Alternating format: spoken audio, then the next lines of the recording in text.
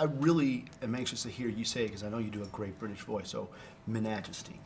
Oh my God, you said that like such a New Yorker. Did I? Minajesty. Where are you from? I'm, I'm from Chicago, but Oh, it's Minajesty. You can uh, the the J doesn't have to be silent. You could say Minajesty, you know, or you know if you want to be like having an accent, you're like Minajesty. see, that's what I was waiting for. That's what you were waiting for. See. Um, how involved in the whole uh, creation of it, and and talk to me about the incredible packaging I keep hearing about.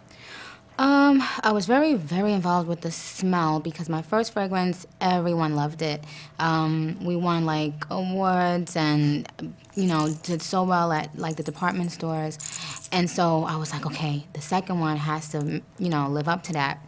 So um, I went through like just a lot of different concoctions. You know, like they'll send you like tons of bottles with mixtures and you have to smell them. And I like to sleep with them on overnight to see if they pass the overnight test. Because I think when you get up in the morning, you still should have like some sort of a, you know, sexy smell to you. And that's like, it, it, it's reminiscent of the night before. And it's like, you know, girls like that.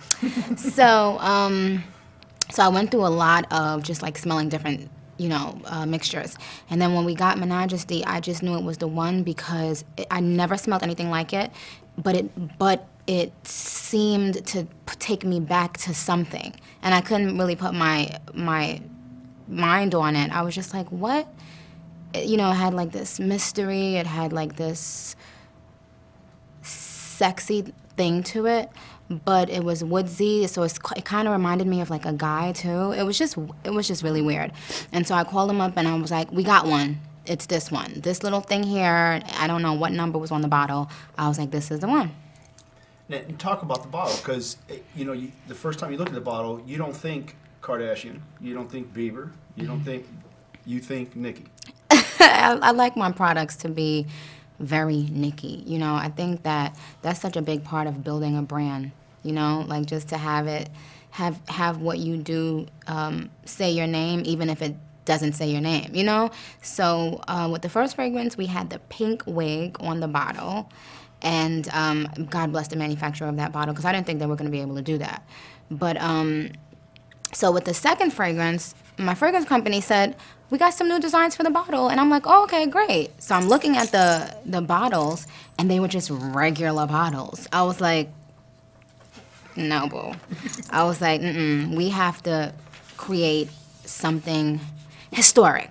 My bottles have to become like a Barbie collection, and now the bottles will be that, like all different wigs, different outfits, and my fans are like just having a ball with the pictures and stuff like on Twitter.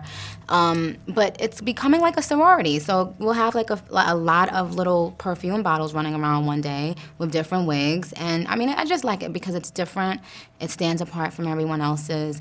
And it makes me happy. Like, it, it makes me feel like this is really a part of me as opposed to me just putting my name on something.